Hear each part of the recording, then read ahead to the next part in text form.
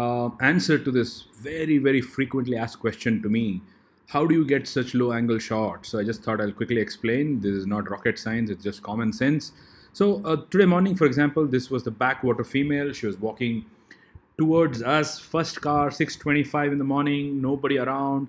And we were shocked to see her 15 feet away, walking towards us with her litter of three and uh, you know so this was the kind of situation so what happens is whenever you see a tiger for example this one whenever you see a tiger or any animal for that matter which is walking towards you like this is usually the case uh, in a place like Kabini, we have uh, cars which uh, have windshield, windscreens, and you have to stand up and shoot from the top, or which is about eight, nine feet above the ground, which is really not the ideal way to photograph wildlife.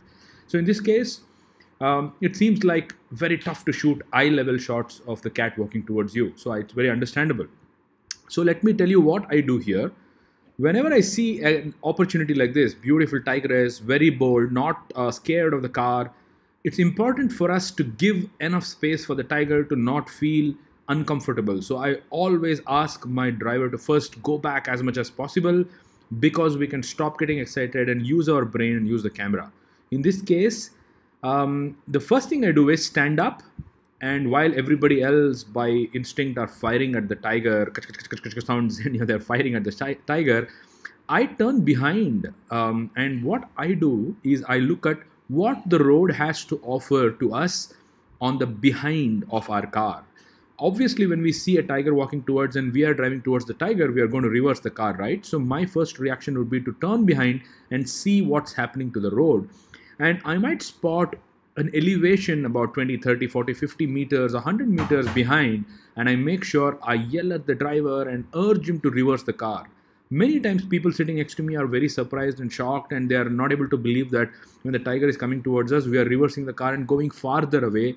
But then we uh, leave the place to win later and we go far away and stand in a place like this. And when the tiger comes close to the spot where there is an elevation and we are at a ditch. We are at a lower height than where the tiger is.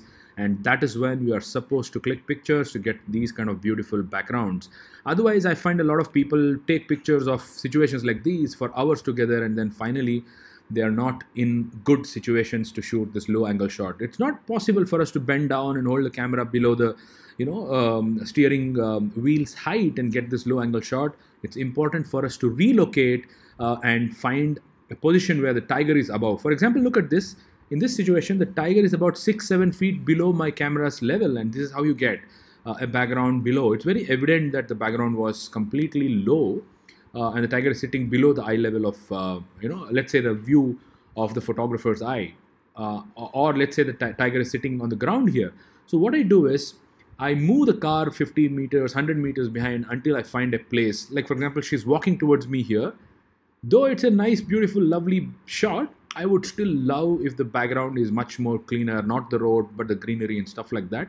So I move the car so much behind, uh, for example, to a place like this, where uh, I anticipate the tiger to come here. I tell people in my car saying we need to give 5 seconds, 15 seconds, 20 seconds. The tiger will come there. Please focus here, get the exposure right, compose, and wait for the tiger to come here.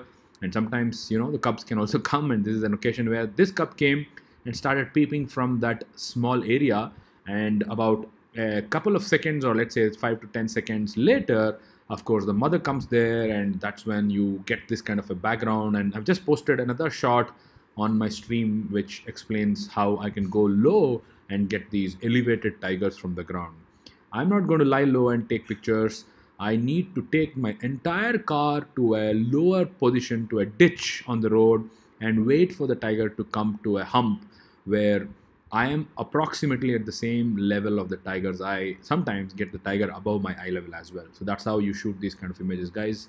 I hope um, you guys love it. Um, this was uh, today morning 6:25 Kabini backwater female and her litter of three. By the way, I'll be taking a group this September 18th to 20th. We have a colleague uh, Harsha Narsimurthy taking a group on 4th to 6th that is already completely full. We have a batch 6th to 9th of September, which has I think a couple of spots check with me or Harsha or anybody from Toehold to know more about these trips. Uh, so Kabini, 18th to 20th September. Take care, guys.